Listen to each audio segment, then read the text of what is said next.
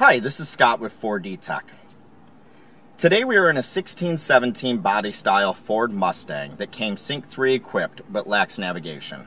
We will be installing the 4D Tech navigation upgrade kit for Sync 3 in this vehicle. In order to perform this upgrade, we need a few basic tools. Phillips and flathead screwdriver, 7 millimeter nut driver,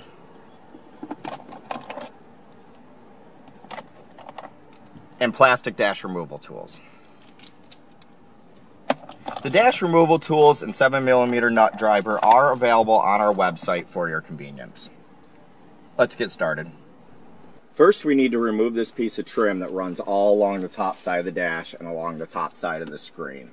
To do so, we need to start at this edge and remove this piece of trim. We'll do this with one of our dash tools and use the dash tool to help the clips and pull it off. Next we want to swing down this small piece of plastic underneath the dash here because it overlaps this.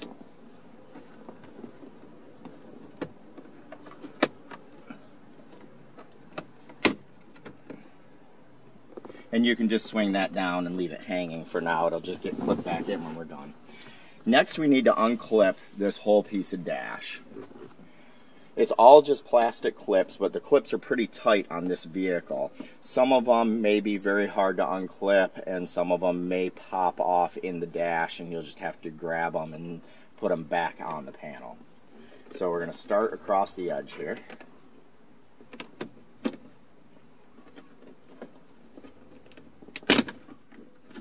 And it'll be pretty hard to start, but once you get it started, you can use your hands to work your way across and just gently pull out.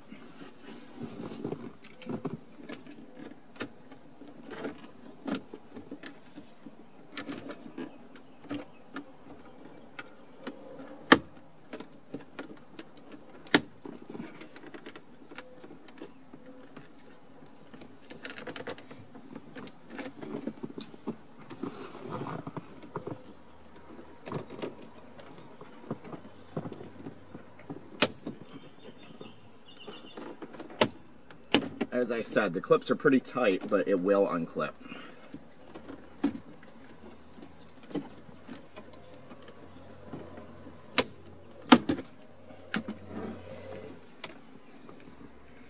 And then if you have these gauges up here, there's a connector on the back. You push in on the little tab on the bottom side of the connector and unplug it. And we'll move this out of the way. Now we need to remove the top portion of this center console so we can slide it back and get to fasteners that are up here underneath the edge of the dash. First, we pull the sides off of the console. They are just clipped on. This driver's side has the same panel. It's a mirror image. Next, there's two 7 millimeter screws on each side that need to come out.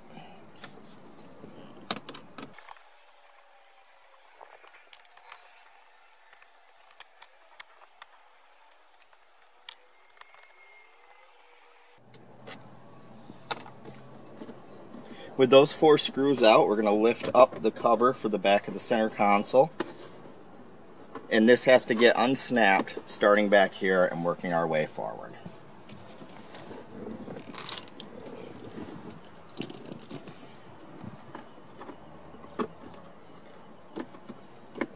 We'll get our clip started at the back here.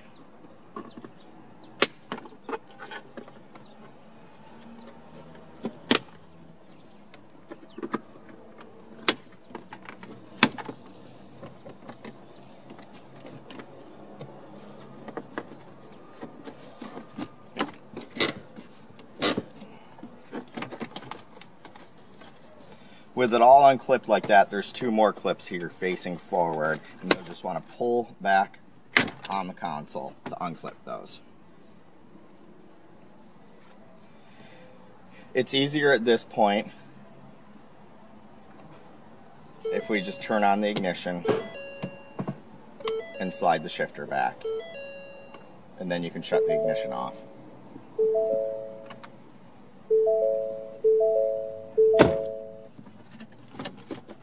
Now we can slide it back a little bit further to gain a little bit more access. Now we take this rubber tray out of the front tray here. and there's two 7 millimeter screws pointing down that need to come out of this tray.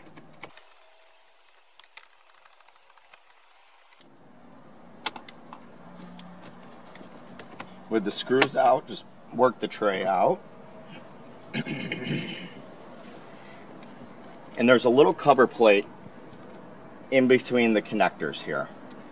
Mine says shaker because this has the shaker audio system in it. Yours may be blank. And just hook your fingers underneath it and unsnap it and move that out of the way also. With the center console pulled back and out of the way and the cover panel removed, next we need to take out these four 7mm screws holding the front control panel bezel in.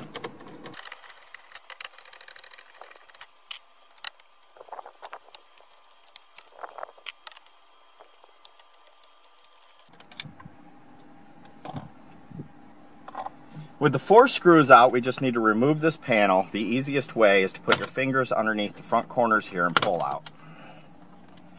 Lift the bottom edge out to clear the bottom. And lay the panel flat to have it out of the way so we can get to the screen. Next, we need to take the four 7 millimeter screws out that hold the screen in place.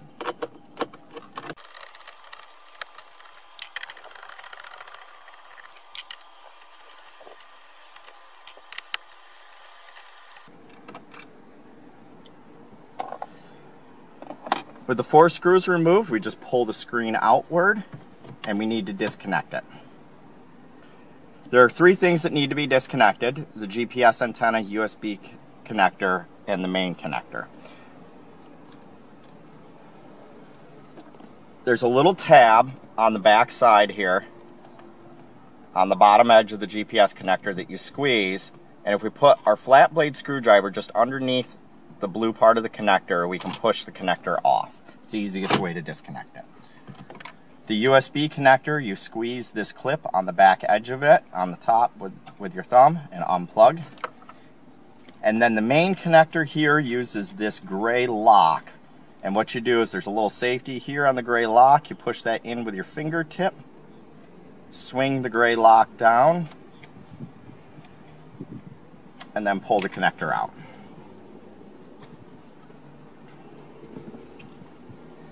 Now that we have the screen with the APIM removed, we are going to be replacing this APIM with the navigation equipped one from 4D Tech. The best thing to do is to set this down on a table on top of a piece of foam that came in the box with it. Uh, for the sake of this video, I'm going to set a cloth in the opening so that you can see what I'm doing. First, we need to disconnect this blue screen cable, the blue connector side of it. So we push down the little tab. We'll push down the little tab and pull out. You may need the help of your flat blade screwdriver just in between this edge here. And unplug it and swing it out of the way. Now we'll take our Phillips screwdriver and remove the three Phillips screws holding the APIM to the screen.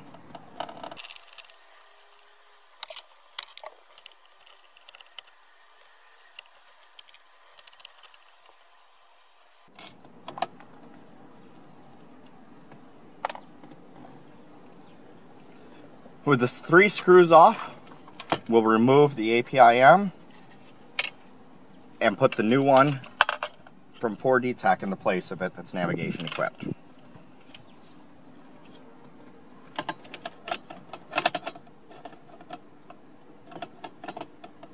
We'll just replace the three screws that we just took out.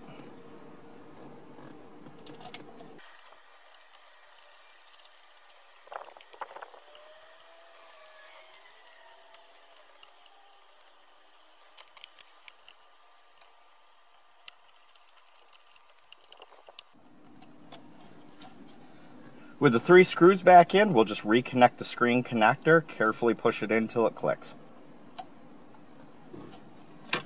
Pull our cloth out of the way as we no longer need it. And now we just need to install the screen with the new APIM on it. To reconnect, the main connector, you want to make sure that this is fully seated in order for it to work right. So with the lever still pulled all the way towards you, push the connector in until the lever starts to move, and then push the lever up into place till it locks. The black USB connector plugs into the black connector on the brain. The gr light gray one is unused. The GPS connector, the little clip on the bottom side of it, that points down when you reconnect it.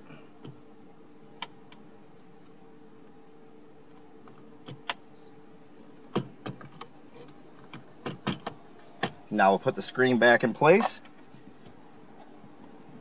and replace the four screws we took out earlier.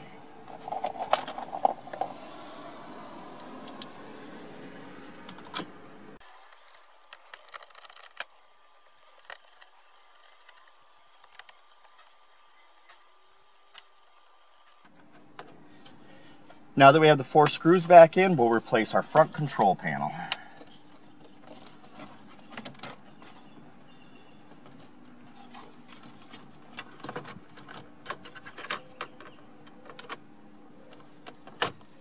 Just clip that back into place and then put the four screws back in that we took out earlier.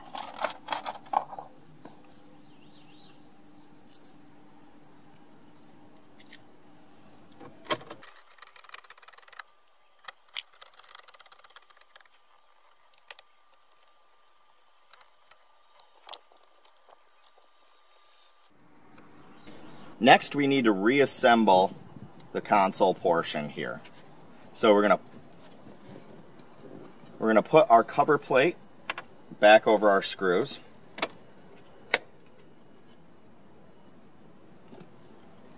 Work the tray back into place here. It should just set in and the screw holes line up.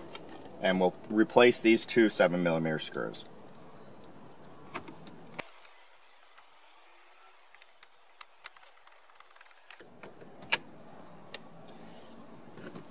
We'll set our tray liner back in, take the console, slide it back forward, and we'll push forward till it snaps in. And then just push down, and it all clips back in. Now we'll replace the two screws on each side of the console.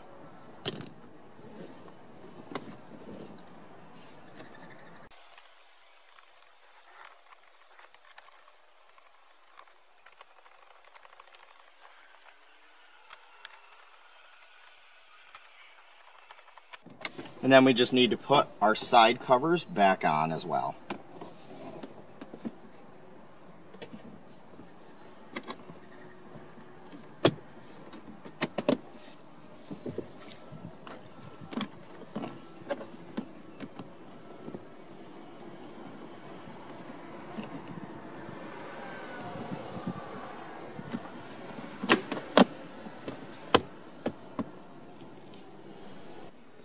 Next, we'll need to put this piece of dash back on up here that we took off earlier.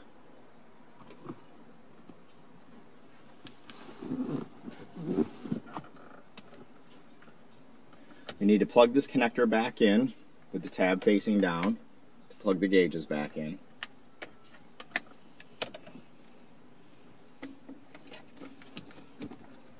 Get the panel in place and just snap it back on.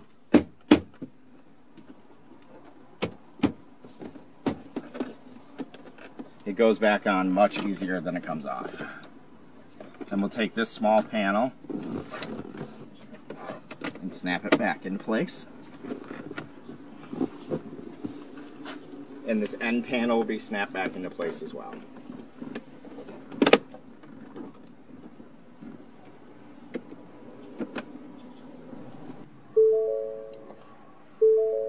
And now that we have the vehicle back together, we'll boot up the new Sync 3 system from 4D Tech. It may take a few moments to boot the first time you hook it up.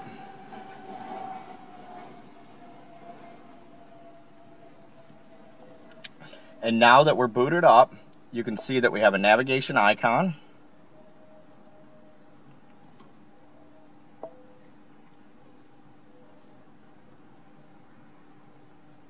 And we have our maps as well.